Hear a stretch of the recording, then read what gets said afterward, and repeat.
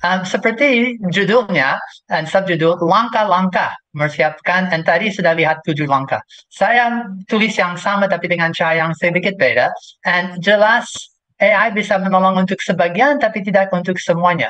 Lebih daripada itu, saya lihat itu dari dua bagian. Ada bagian PA, kayak menggali teks daripada pilihnya sampai menemu apa amanatnya dan sudah jelas apa pesan yang telah disampaikan dan pesan harus distruktur, dikembangkan, ada pendahuluan, penutup sampai itu sudah siap.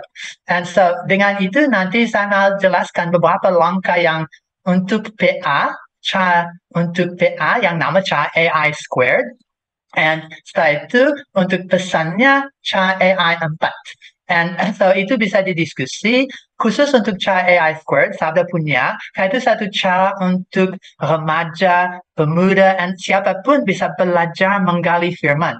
And AI squared ada seperti ini. Method AI squared dalam hanya satu slide, ini bisa satu jam lebih presentasi, tetapi akan mengawali awasi amanati teks sedikit seperti persiapan khotbah dan kalau orang tak punya skill untuk betul menggali dan masukkan firman itu akan sulit untuk persiapan khotbah. Dan sebagian itu mengawali A, setelah itu investigasi induktif, interaksi dengan teks, betul menggali dengan cara yang lain, sabda sudah pakai huruf SABDA, simak, analisa, investigasi induktif, dan daripada itu B belajar doa and aplikasi. Tetapi method AI square itu awali, investigasi, dan ajaran. Apa artinya untuk saya? Sebagai pendeta takut pada hanya apa artinya untuk saya?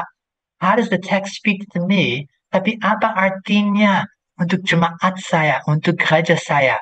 Dan seperti daripada 2 Timothy 3.16 itu bisa dipakai untuk koreksi, untuk mendidik, untuk empat cara yang luar biasa dengan catatan kaki. Itu roh kudus yang menafaskan ke dalam teks itu. Tapi apa ajarannya? Yang jelas implementasi. Tidak mungkin. Dan so kalau lihat cara AI itu menolong. Dan setelah itu untuk yang kalau saya lihat dari sini untuk bagian pesan. So saya menggali sampai ada sesuatu yang muncul. Saya bilang, ah ini pesan. Oke, okay, so sekarang pesan. Um, and so pesannya seperti ini. Um, cara AI, well, artikulasi amanat. Dan seperti tadi Benny bilang, kunci dari bagian pertama itu sampai amanat. Apa amanat yang ada di sini? Apa pesannya? Oke. Okay? Nah, saya harus artikulasikan itu. Itu bagian pertama. Writing and outlining. Setelah itu harus diilustrasi dan implementasi. And untuk artikulasi, secara jelas, adaptasi intinya, ide-ide, mengatur info implementasi, daripada itu ditulis dengan baik. Kalau mau, ada garis besar, ada draft, dan semua yang perlu khusus hermeneutika yang panjang lebar untuk bisa siapkan dengan baik. Dan ilustrasi dan implementasi. Apa aplikasinya? Siapakah audience? Dan bagaimana bisa diintegrasi sampai hidup mereka tertransformasi?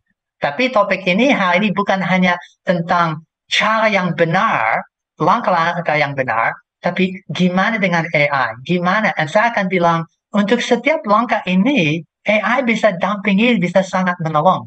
Dan itu alasan kumpul bersama.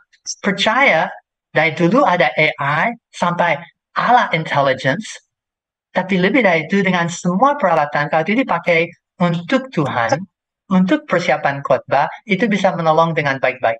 Dan sudah cukup dari saya. Ya, terima kasih Pak Max. Jadi Bapak Ibu ingat sekali lagi yang tadi disampaikan baik oleh Pak Beni juga uh, Pak Max. Bapak Ibu harus punya skill dulu untuk menggali Alkitab. Seperti ini ya, saya saya contohkan ya.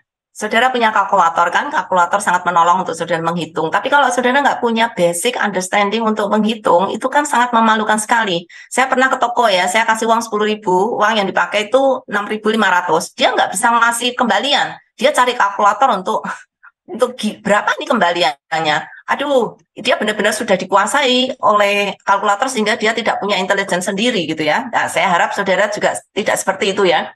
Saudara nanti sudah biasa pakai AI, nanti kalau nggak pakai AI, saudara nggak bisa cari ayat, nggak bisa cari makna ayat, nggak bisa cari amanat ayat. Wah, uh, saudara jadi lumpuh ya.